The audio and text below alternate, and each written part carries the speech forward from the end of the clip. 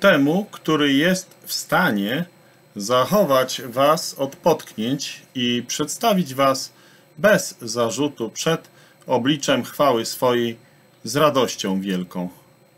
List Judy, werset 24.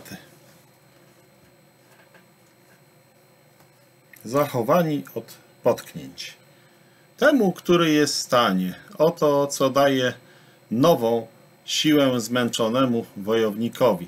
Słaby i bezradny w sobie spogląda z wiarą ku Bogu, ku temu, który jest w stanie i w ten sposób ze słabego taki człowiek, który patrzy ku Bogu, jest mocny, staje się mocny.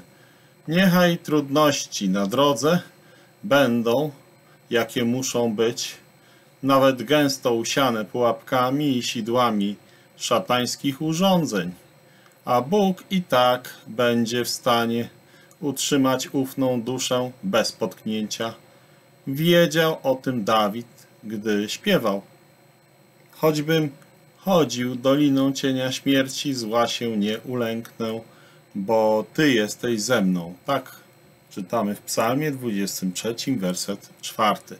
To jest wystarczające dla wiary w najciemniejszej i najtrudniejszej godzinie. Mogę nie widzieć kroku przed sobą, ale ten, który jest w stanie, widzi koniec od początku. On nie każe mi ufać niczemu innemu, sobie samemu czy innym podporom. On każe mi zaufać w Jego miłość i mądrość, a tym samym powierzyć się Jego kierownictwu.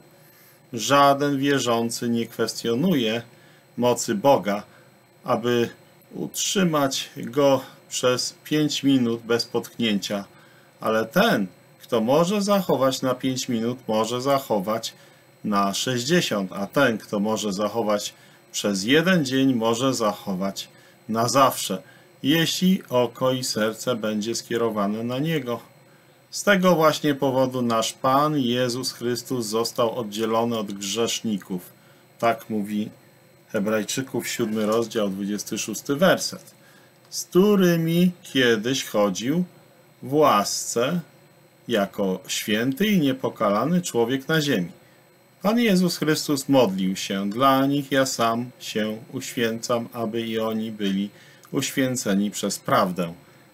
Ewangelia Jana 17, rozdział 19, werset. W ten sposób Pan Jezus Chrystus stał się On w niebiańskiej chwale obiektem dla serc swojego ludu, aby żyjąc codziennie patrząc na Pana Jezusa Chrystusa, patrząc na Jezusa, jak mówi Hebrajczyków 12 rozdział, drugi werset, mogli być zachowani od potknięcia i jak Pan Jezus Chrystus, jak On, mieć wszystkie potrzebne zapasy łaski na pielgrzymczą drogę, aby koniec był pewny. On, Pan Jezus Chrystus, jest w stanie przedstawić Was bez zarzutu przez swoją chwałę.